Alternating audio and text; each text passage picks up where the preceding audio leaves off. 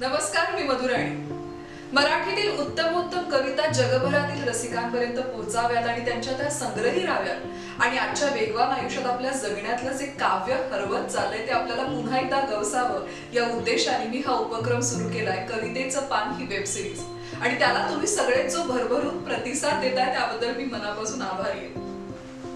तुम्ही अजून सबस्क्राईब केलं नाहीये का? मग लगेच सबस्क्राईब करा. खाली लाल रंगात सबस्क्राईबचं बटन दिसते त्यावर प्रेस करा. त्याच्या शेजारी बेलचं चिन्ह दिसेल त्यावरही प्रेस करा. सबस्क्राईब केल्यामुळे तुमच्या मोबाईलवर आमचा एपिसोड अपलोड झाल्यावर लगेच सूचना येईल. आणि हो सबस्क्रिप्शन फ्री आहे.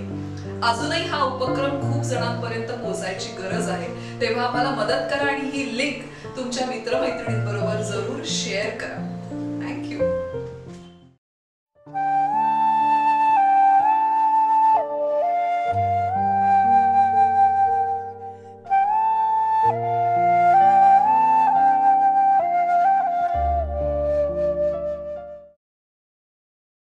नमस्कार कवितेचं पानमध्ये मी मधुराणी आपल्या सगळ्यांचं मनापासून स्वागत करते. आजचा आपला कवितेचं पानचा एपिसोड हा रंगांनी रेषांनी नटलेला सजलेला असणार आहे कारण आज आपल्याबरोबर आहेत चित्रकार अभिनेते संदीप कुलकर्णी. संदीप सर मनापासून स्वागत. आणि आम्हाला खूप छान वाटते की कवितेचं पानसाठी तुम्ही एवढा प्रेमाने वेळ काढलाय. केव्हापासून मला करायचं होतं? केव्हापासून आपलं चाललंय, चाललंय आणि- आज फायनली खूप कमी जणांना माहिती आहे की तुम्ही जे जेचे फाईन आर्टचे स्टुडंट आहात आणि तुम्ही चित्रकार आहात कारण अभिनेते म्हणूनच जास्त परिचित आहात. हो. तर मला थोडंसं ऐकायचं आहे तुमच्याकडनं तुमच्या जे जेच्या त्या भारलेल्या दिवसांबद्दल. कारण चित्रकारांविषयी मला मुळात खूप आदर आहे आणि मला सारे हातात पेन्सिली धरता नाही. सध्या माझी अवस्था आहे. फार वेगळी नाहीये कारण माझी प्रॅक्टिस किंवा असं ती फारशी नाहीये. पण अं, हो म्हणजे माझं फाउंडेशन हे जे जे जे जे स्कूल ऑफ आर्ट्स आहे आणि चित्र चित्रकला हे माझं फाउंडेशन आहे. इनफॅक्ट मी दहावी झाल्यानंतर माझं फोकस होता की चित्रकलेत जायचं आणि चित्रकार व्हायचं. म्हणून आणि तेही जे जेला त्यामुळे जे जेमध्ये मी ॲडमिशन घेतली आणि मग फाईन आर्ट्समध्ये गेलो. फाईन आर्ट्समध्ये तिथे आम्हाला कोलते सर म्हणजे माझे प्रभाकर कोलते जे प्रोफेसर होते त्यांनी आम्हाला सगळी दालनं उघडून उघडी करून दिली. म्हणजे कवितेची. वाचनाची हो. सिनेमा तुम्ही फिल्म क्लबचे मेंबर व्हा फिल्म्स बघा असं सगळंच. पुस्तकं वाचणं हे वाचणं लेखक गाणी ऐकून दाखवायचे ते स्वतः गायचे गोड. तर त्यामुळे ह्या सगळ्या सर्वांगाने आम्हाला एक पेंटरला कसं सगळं एक खाद्य मिळावं असं ते नेहमी बघायचे. आणि तेव्हा माझं असं ठरलं होतं की पॅरिसला जायचं एक स्टुडिओ काढायचा पेंटर म्हणून आणि आयुष्य तिथे घालवायचं. असं माझं सेट होतं आयुष्य. हे कुठे हो, म्हणजे? म्हणजे मग सगळं कसं बदललं मग त्याच्यानंतर एक इंटर कॉलेज कॉम्पिटिशन्स वगैरे करत होतो आणि जरा सिनेमा हे जेव्हा इंटरनॅशनल सिनेमा पाहिल्यानंतर मला एक सडनली जाणवलं की सिनेमा हे जास्त मोठं एक्सटेन्शन आहे व्हिज्युअल आर्टचं मग त्याच्यामध्ये मग साऊंड आणि मग त्याच्यामध्ये सगळं चाललं म्हणजे सगळं. सो आणि असं होतं की जेव्हा एक कुठला एक फॉरेन सिनेमा किंवा जर्मनी फ्रेंच सिनेमा किंवा जर्मन सिनेमा बघतो तेव्हा असं दिसतं की तिथलं जगणं आपल्याला बघायला मिळतं. ऑल्सो हे मला असं जाणवलं की मी थोडासा इंटरॅक्टिव्ह हे जास्त आहे. म्हणजे पेंटर हा एक लेखकासारखा आहे. म्हणजे त्याला एक एक एक- यु नो हो, इंट्रोवर्ट introvert आहे, बरोबर. तसं मी नाहीये थोडासा. आपल्या हां. तर अं, मला जास्त इंटरॅक्टिव्हिटी त्यामुळे मला थिएटर आणि ह्याची जास्त ओढ मग निर्माण झाली. हा. आणि म्हणून मग मी थिएटर आणि मग तसं करत सिनेमाकडे वळलो. पण व्हिज्युअल आर्टचा स्टुडंट असल्यामुळे मला सगळ्यात मोठा फायदा हा आहे की एक व्हिज्युअल एबिलिटी आहे. म्हणजे मला कुठली कथा किंवा कविता किंवा एखादं स्क्रिप्ट जरी वाचलं तरी व्हिज्युअल्स उभे राहतात. वा म्हणूनच मी जेव्हा तुम्हाला फोन केला की मला एपिसोड करायचा आहे तुमच्या बरोबर तेव्हा तुमचं पहिलं असं होतं की हा विषय आपण ना चित्रमय कविता असा घेऊया की. त्याच्यामध्ये व्हिज्युअल व्हॅल्यू आहे काहीतरी. सो आता एपिसोडच्या सुरुवातीला तुमच्याकडे तशीच एक कविता आहे येस शंकर वैद्यांची कविता हे चित्र. खूप व्हिज्युअल्स आहे त्याच्यामध्ये. शेतभर उमललेली केशरी गुलाबी रंगाची फुले. शेतभर उमललेली केशरी गुलाबी रंगाची फुले उंच ताटांवर उमललेली हिरव्यागार पानांसह गादगात वाऱ्यावर डोलणारी झुलणारी. एक छोटा मुलगा आणि त्याची छोटी मैत्रीण. एक छोटा मुलगा आणि त्याची छोटी मैत्रीण निघाली आहेत फुलांच्या ताटव्या ताटव्यातून. आनंदाने विहार करीत. त्याच्या हातात छत्री आहे. त्याच्या हातात छत्री आहे हिरव्यागार रंगाची डोक्यावर उखडलेली. पुढे पुढे फुलांचे रंग गडद गडद होत गेले आहेत. पुढे पुढे फुलांचे रंग गडद गडद होत गेले आहेत. फुलांच्या शेताच्या पैल बाजूला. एक वयस्क माणूस आणि तशीच स्त्री. फुलांच्या ताटव्यातून आता बाहेर पडणार आहेत. ओहो ओहो. तीच हिरव्यागार रंगाची छत्री त्याच्या हातात आहे. तीच हिरव्यागार रंगाची छत्री त्याच्या हातात आहे. रंग अजून तसाच हिरवा आहे. ओहो. ही बाग कवितांची असेल आणि ही फुलं शब्दांची असतील. क्या बात आहे क्या बात आहे. तर हे चित्र माझंच आहे. वा ही बाग कवितांची असेल. आणि फुले शब्दांची असतील हा, हा. तर ही हे चित्र माझंच आहे. मला वाटतं शंकर वैद्य हे एक असे कवी होते की ज्यांचं रंगांवर आणि चित्रांवर हो. चित्रमायतेवर खूप खूप प्रेम होतं. आणि अ, कौशलनी त्यांची एक कविता स्वरबद्ध केली आहे. त्यांनी ती मला शिकवली होती एकदा. तर ती मला तुम्हाला ऐकवायला हो, आवडेल. त्या हो निमित्ताने हम्म, त्यात पहाटेचं वर्णन आहे आणि वेगवेगळे रंग आहेत. आणि ही वसंतातली पहाटे म्हणजे वसंतात एरवीच रंग असतात रंगांची उधळण असते आणि पहाटेला. कलर्स आणि.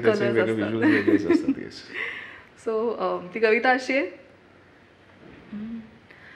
पहाटेची वेळ रंग रंग अंबरी डाळिंबाच्या रसामधी रंग केशरी आभाळाच पा वर गणेशाच ध्यान.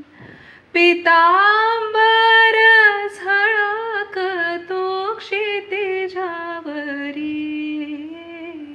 पहाटेची वेळ रंग रंग कडव्यांमध्ये परत रंग आहेत. वा.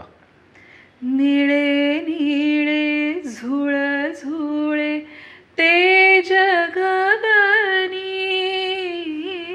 निळे निळे झुळ झुळे ते जगगनी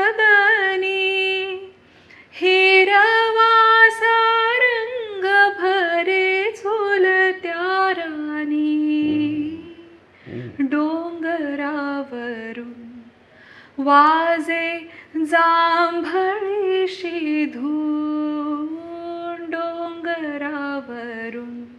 वाजे जांभळीशी धून शेता शेतातून घुमे गोड पावरी. पहाटेची वेळ रंग रंग अंबरी पंचमीचा दिन आला मनामधी रंग पंचमीचा दिन आज मनामधी रंग तारुवेलीचेही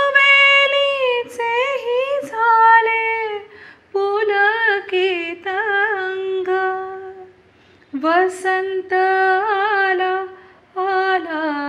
वसंत आला.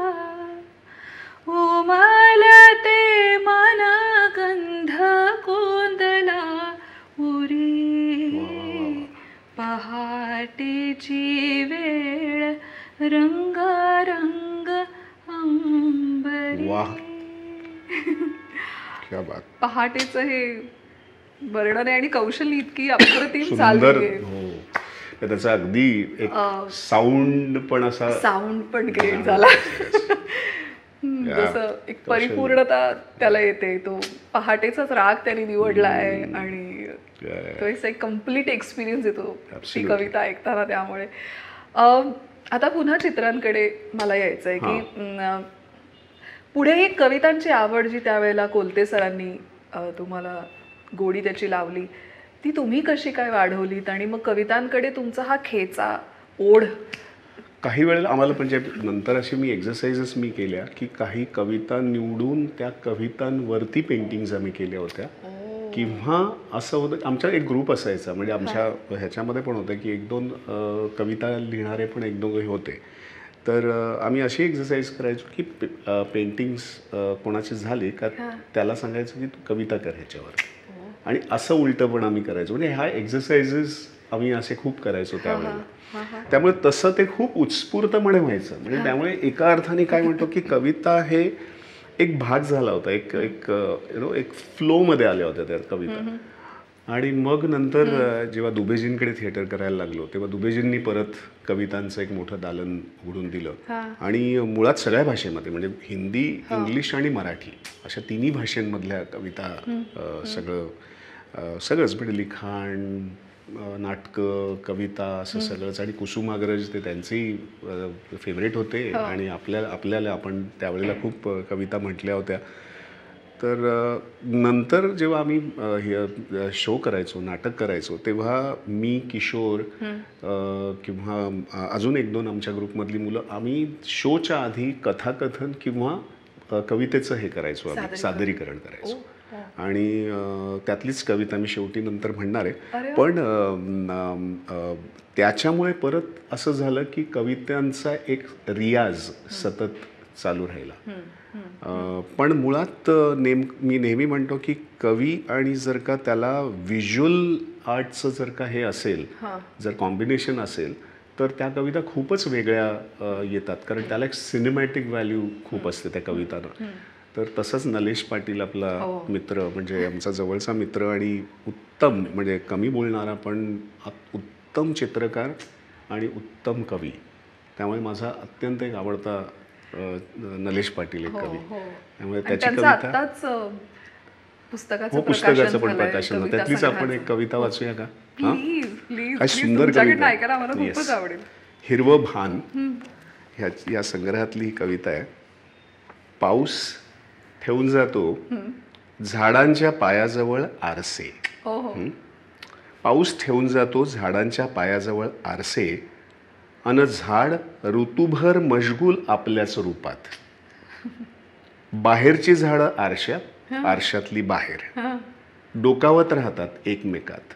क्या बात आहे कुठली खरी आणि कुठली खोटी काही समजतच नाही. मनसोक्त डुंबल्याशिवाय दोन्हीकडे काही उमजतच नाही. पाऊस विणत राहतो आपल्या पारदर्शी धाग्यांनी आरसे. पाऊस विणत राहतो आपल्या पारदर्शी धाग्यांनी आरसे. आपण संभ्रमात काही कळतच नाही आपल्याला फारसे. आरशांवर येतात ओघळ हिरव्यागार फांद्यांचे.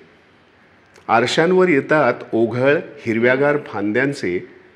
त्यावर कोणी पाखरू बांधू पाहे घरट तरंगांचे. खोलवर आत निवांतात वाहतो आकाशाचा पारा.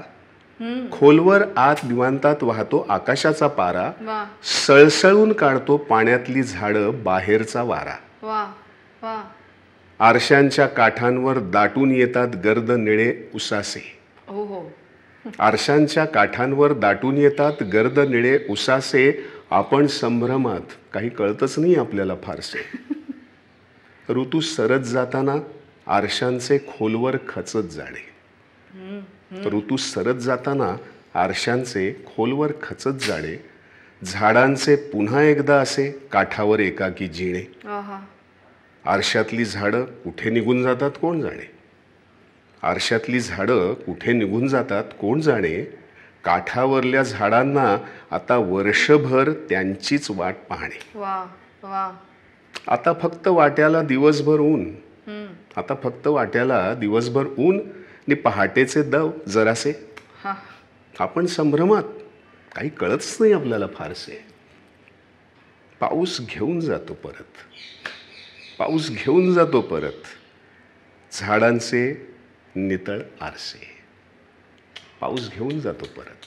झाडांचे नितळ आरसे किती विज्युअल किती बाप रे वाप हे फक्त चित्रकार लिहू शकतो. म्हणून हा जास्त जवळचा आहे. आरती कुलकर्णी नावाची एक. कवयित्री आहे. तिची एक कविता मला तुम्हाला ऐकवायला हो आवडेल. तिच्या पण सगळ्या कविता ह्या तिच्या गावाविषयीच्या ओढीविषयी किंवा त्या गावांच्या वर्णनांविषयी खूप असतात. आणि त्याच्यात चित्रमयता खूप असते. तिची एक कविता मला ऐकवायला आवडेल? संध्याकाळी पाखरांची वाट बघत झाडं काठावर जमतात. संध्याकाळी पाखरांची वाट बघत झाडं काठावर जमतात तेव्हा दुपारी सुस्त पडलेल्या तळ्याचा मूड एकदम पालटतो. हो. सावळ्या पंखांचे एक एक पक्षी सावकाश खाली उतरतात तेव्हा डोंगरांनाही हायसं वाटतं. काटेरी झुडपातून फेरफटका मारत सूर्य अगदी टोकावर येतो. तेव्हा तळं आठवणीत रमतं सोनेरी संधी प्रकाशात गुणगुणू लागतं. आता चांदण्याही चमचमतात. लाटा काठाशी हितगुज करतात. आणि डोंगरांमधून डुलत डुलत चंद्र अवतरतो. आता तर तळ आणखीनच रंगात येतं. चंदेरी रात्रीची दुलई पांघरतं. वा. आणि मग बदलणाऱ्या ऋतूंची न पाहिलेल्या गावांची पाहुण्या पक्ष्यांची असंख्य स्वप्न पडत राहतात त्याला. वा. आता झाडंही पेंगुळतात पक्षी गुडूप होतात पावलं परतीची वाट धरतात. तेव्हा करवंदीच्या मोहरलेल्या गंधात त्या जादुई तळ्यावर एक कविता रेंगाळत वा राहते. क्या बात. वा तिने ते ती चित्रकार आहे का का नाही? म्हणजे जस्ट ॲज अ ती चित्रकार नाहीये पण तिच्याकडे नक्कीच त्या एक तो एक एबिलिटी आहे. खूपच व्हिज्युअलाइज करण्याची आणि ते शब्दात उतरवण्याची वा वा वा क्षमता आहे तिच्यामध्ये. आणि असं एक दुपारपासनं ते हम्म, अ, रात्री आणि रात्रीपर्यंतचा वा, वा, वा. तो ट्रान्झिशन तेवढं ट्रान्झिशन तिने किती हळुवार त्या एक एक वर्णनातनं दाखवलंय. अ, वा फार सुंदर आहे. फारच मस्त. इनफॅक्ट आपल्याला गंध पण येतो त्या त्या त्या ह्याचा ना. असा एक वा. मला आता असं काही विचारायचं आहे की चित्र काव्य अभिनय ह्या तीन काव्य म्हणजे साहित्य असं म्हणूया आपण की या तीन प्रमुख ललित कलांशी तुम्ही जोडले गेलेले आहात आणि तितक्याच तन्मयतेने जोडलेले आहात. ह्यात काय समान धागा सापडतो? खरं तर म्हणजे हे कसं आहे जसं मी म्हटलं की व्हिज्युअल आर्ट म्हणजे म्हणून कोलते आम्हाला नेहमी सांगायचे की तुम्ही कधी साचेबद्ध राहू नका. जितके तुम्ही ओपन माइंडेड आणि जितकं तुम्ही स्वतःची दालनं उघडाल तसं तुम्हाला एक कलाकार म्हणून तुम्ही समृद्ध होत राहाल. म्हणजे नशिबाने असे शिक्षक मिळणं हे आमचं खरंच म्हणजे ते दुबेजी हे सगळे ह्यांच्यामुळेच मी आज जो काय आहे तो आहे. आणि हे खरंच आहे. म्हणजे तुम्ही तुम्ही ॲक्टर असा तुम्ही डिरेक्टर असा तुम्ही चित्रकार असा तुम्ही सिंगर असा जितकं तुम्ही वाचाल कविता पुस्तकं किंवा ले लेखक तुम्ही वाचता सिनेमे बघणं नाटकं बघणं म्हणजे साहित्य संगीत आणि कला ह्या ह्यांनी माणूस समृद्ध होतो. त्यामुळे नट म्हणून सुद्धा मी असं सगळ्यांना म्हणेन किंवा मी नेहमीच म्हणतो मित्रांना की ह्या सगळ्या कलांच्या निदान एक ओळख तरी असावी. ज्याच्यामुळे आपलं एक एक डायमेन्शन्स मिळत राहतात आपल्याला वेगवेगळे. आणि दुसरी गोष्ट एक काय होतं की बरेच वेळेला जेव्हा आपल्याकडे एक एखादं कंटिन्युअस काम नसेल किंवा हे नसेल तर ह्या गोष्टी असतात आपल्याला यु नो सांभाळायला किंवा तिथे एक आनंद आपल्याला मिळू शकतो you know in your in your way. Right right right चित्रांमध्ये आणि काव्यामध्ये काय साम्य जाणवतो तुम्हाला? जसं आता पण मगाशी आपण शंकर वैद्यांची वाचली हो. ऑलमोस्ट लँडस्केप आहे. हो. म्हणजे एक लँडस्केप पेंटिंग पाहिल्यासारखं आपण हो बघतो. हो हं? हो. आता कवी ग्रेस आता ग्रेसांच्या कविता आपण जर का बघितल्या तर त्या खूप अबस्ट्रॅक्ट आहेत. म्हणजे आपण माहिती ॲबस्ट्रॅक्ट पेंटिंग आणि ते खूप कॉमन माणसाला कळत नाही की हे काय आहे वगैरे है ना? हो. पण ॲबस्ट्रॅक्ट पेंटिंग्स म्हणजे जर त्यांना ओरिएंटेशन दिलं ना तर ॲबस्ट्रॅक्ट पेंटिंग सुद्धा लोक एन्जॉय करू शकतील. तसं थोडंसं ग्रेसांचं आहे. हा हा की ग्रेसांची कविता आपण जर का ऐकली किंवा सुरुवातीला कदाचित आपल्याला पटकन उलगडत नाही. पण जेव्हा आज शिरतो तेव्हा म्हणजे असं बापरे हे कुठून आलं आणि हे कसं आलं आणि हे ॲबस्ट्रॅक्शन म्हणजे हायेस्ट लेवल ऑफ ॲबस्ट्रॅक्शन म्हणतो ना कविताचं किंवा एखाद्या थॉटचं ते ग्रेसांच्या कवितेत आपल्याला दिसतं. त्यांची एक कविता छान आहे. वाटेपाशी? रात्र थांबवुनी असेच उठावे. रात्र थांबवुनी असेच उठावे. तुझ्यापाशी यावे क्षणासाठी. डोळियांच्या व्हाव्या वेड्या गाठी भेटी.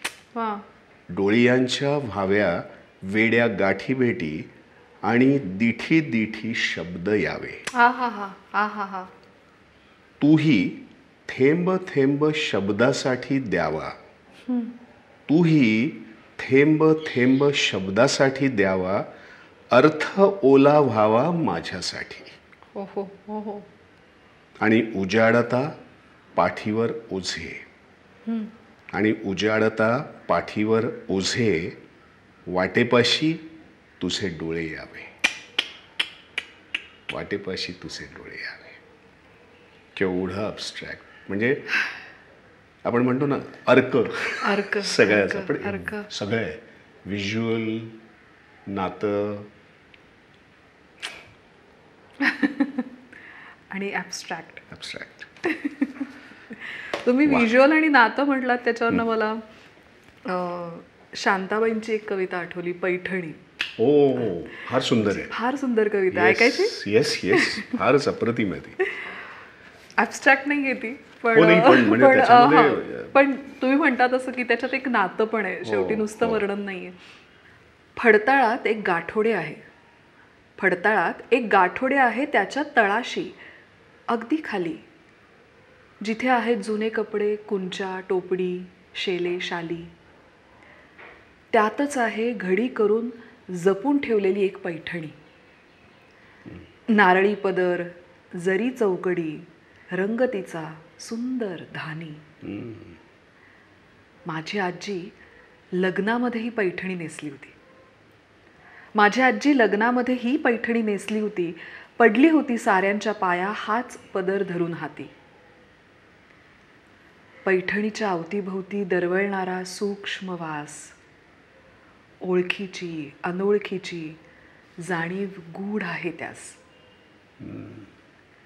धूळ कापूर उदबत्त्यातून जळत गेले किती श्रावण. धूर कापूर उदबत्त्यातून जळत गेले किती श्रावण. पैठणीने या जपले तन एक मन. खस हिन्यात माखली बोटे पैठणीला केव्हा पुसली. खस हिन्यात माखली बोटे पैठणीला केव्हा पुसली. शेवंतीची चमेलीची आरास पदरा आडून हसली. हम्म, क्या वर्षामागून वर्षे गेली संसाराचा सराव झाला. वर्षामागून वर्षे गेली संसाराचा सराव झाला. नवा कोरा कडक पोत एक मऊपण आल्याला. क्या बात. वा. पैठणीच्या घडीघडीतून अवघे आयुष्य उलगडत गेले. पैठणीच्या घडीघडीतून अवघे आयुष्य उलगडत गेले. आहेवपणी मरण आले. आजीचे माझ्या सोने झाले. कधीतरी ही पैठणी मी धरते उरी कवळून. कधीतरी ही पैठणी मी धरते उरी कवळून. मऊ रेशमी स्पर्शामध्ये आजी भेटते मला जवळून. मधली वर्षे गळून पडतात कालपटाचा जुळतो धागा. मधली वर्षे गळून पडतात कालपटाचा जुळतो धागा. पैठणीच्या चौकड्यांनो आजीला माझे कुशल सांगा. पैठणीच्या चौकड्यांनो आजीला माझे कुशल सांगा. वा केवढं म्हणजे नॉस्टॅल्जिया केवढं आहे केवढं फील आहे केवढे जनरेशन्स केवढ्या जनरेशन आणि तुमच्याशी बोलताना तुम्ही सतत म्हणताय ना की त्याला एक व्हिज्युअल आहे पण स्पर्श आहे. हो म्हणजे पैठणीचा रंग चौकड्या आणि हा, आणि उभ्या ते- त्याचा गंध आहे त्याला तो. धूर कापूर उदबत्त्या त्याचा उल्लेख आहे खस हिन्याची माखली बोट नंतर मग तो कडक पोत मऊपणा कसा काय म्हणजे. त्याचं ते. पंचेंद्रियांनी रसरसून आत म्हणजे- घ्यावी अशी कविता हां, आहे ती. म्हणजे ह्या कविता ज्याच्यामध्ये म्हणजे म्हणूनच म्हणजे मला इंटरेस्टिंग की ज्याच्यामध्ये व्हिज्युअल्स हो. आहे ज्याच्यामध्ये तो ते सगळे सेन्सेस तुम्हाला ना असे जागे करतात. जागे करतात. ऍब्सोल्युटली ऍब्सोल्युटली आणि परत भाव आहे शेवटी. करेक्ट करेक्ट करेक्ट सुंदर आहे काय या सगळ्या कवींमध्ये एक क्षमता होती आपल्यासमोर चित्र प्रसंग नाट्य उभं करण्याची मला असं वाटतं कवितेची ताकद आहे. म्हणजे आपण ज्याला अब्स्ट्रॅक्शन म्हणतो ना सगळ्याचं त्या कवितांमध्ये असतं आणि त्याच कविता आणि तरी ते आपल्या इंटरप्रिटेशनसाठी हो सोडलेले असतात. म्हणजे यू कॅन जस्ट ग्रो म्हणजे ती कविता ग्रो होते. Grow होते, हो.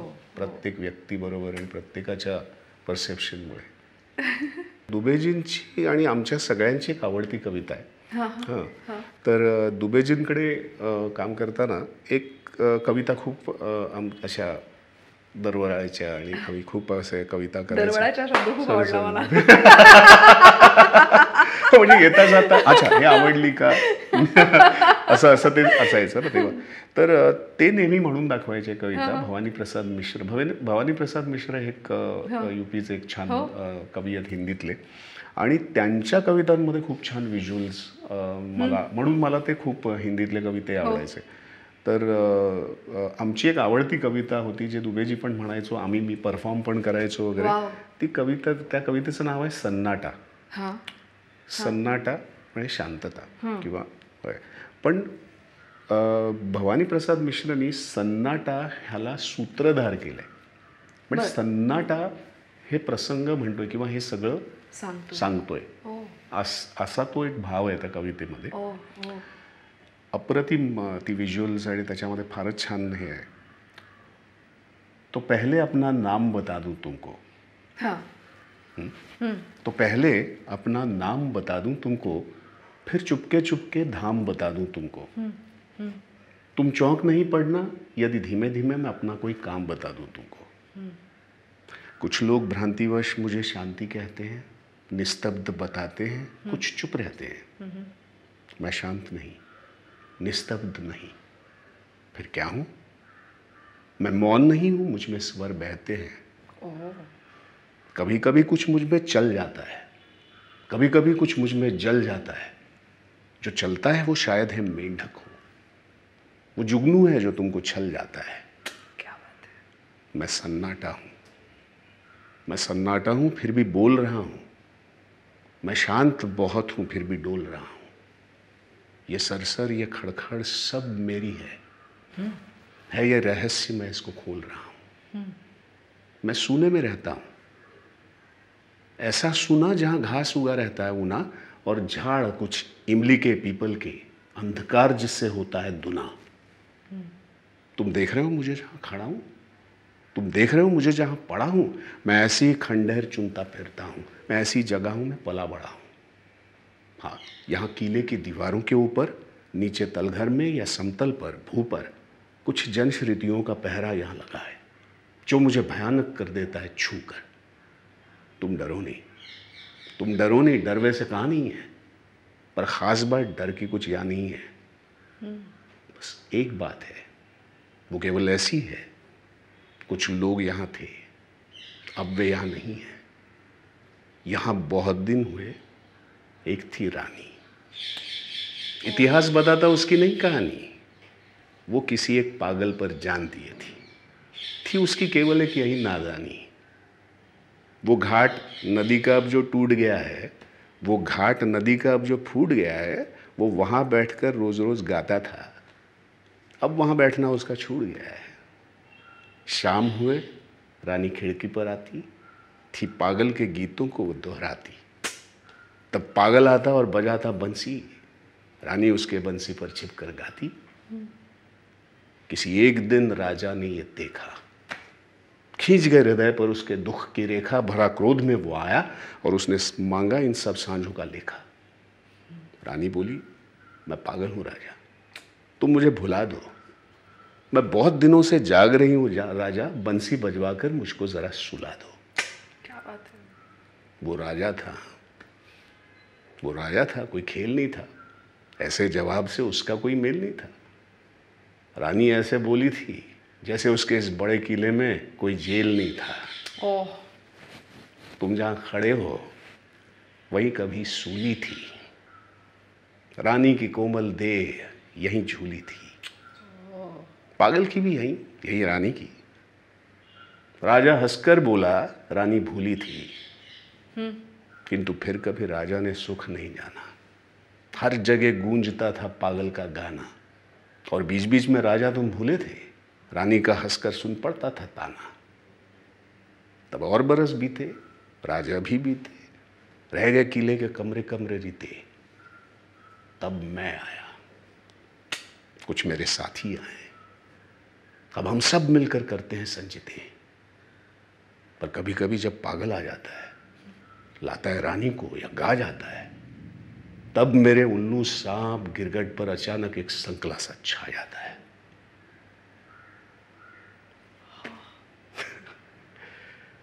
अशी ही सन्नाटा। जवळपास इथेही तोच झालाय. असंच होतं आहे, त्या कवितेचं इतकी म्हणजे आणि ॲक्टर्ससाठी तर यु नो. केवढे विज्युअल्स काय आहे? म्हणजे कुठून? म्हणजे पास्ट प्रेझेंट आणि पिरियड आणि असं. आणि कल्पनाच पहिल्यांदा की वातावरण हे प्रसंग सांग म्हणजे वातावरण सूत्रधार आहे. त्याची गोष्ट सांगतोय. ही कल्पनाच किती ग्रेट आहे. कमाल कमाल. वा खूपच मजा आली. खूपच खूपच खूपच मजा आली. आणि. मला असं वाटतं कवितेचं पानला आज एक वेगळं डायमेन्शन मिळालं तुमच्या अ, येण्यामुळे. आणि मी खूप आभारी आहे त्याबद्दल. आपल्या आपले सगळे जे रसिक आहेत ते खूप तन्मयतेने ऐकतात आणि पाहतात. आणि मला असं दरवेळेला वाटतं की दृष्टिकोन काहीतरी त्यांना दरवेळेला नवीन नवीन मिळावा आणि तू देतेस तू. म्हणजे मला म्हणजे म्हणूनच मी केव्हापासून वाट बघत होतो की तू कधी येतेस आणि आपण हा कार्यक्रम हो नाही कारण हा खरंच मोठा ठेवा आहे. हा हे खूप मोठं डॉक्युमेंटेशन पण आहे. म्हणजे परत परत लोकांना बघायला आवडेल असे हे एपिसोड्स आहेत. त्यामुळे आय आनंद आहे. मी I be part of it आणि ऑल द बेस्ट म्हणजे you are doing a great job thank you